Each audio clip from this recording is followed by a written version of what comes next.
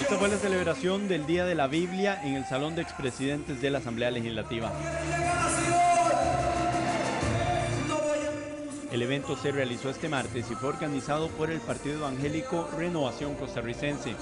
Yo creo que a Dios en Costa Rica no hay que sacarlo de ningún lugar. Y no debemos de sacarlo de ninguna parte. Pero para eso se necesita una generación que tenga fe.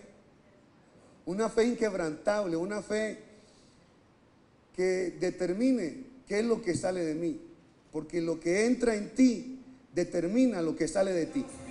El uso del Congreso para actividades religiosas genera molestia en el Frente Amplio.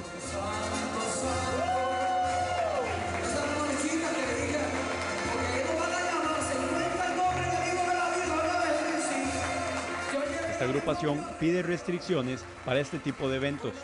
Ellos tienen todo el derecho de celebrar el Día de la Biblia, pero no aquí. Yo pienso que es reiterado ya nuestra queja ante el directorio legislativo y nunca se ha querido hacer nada al respecto.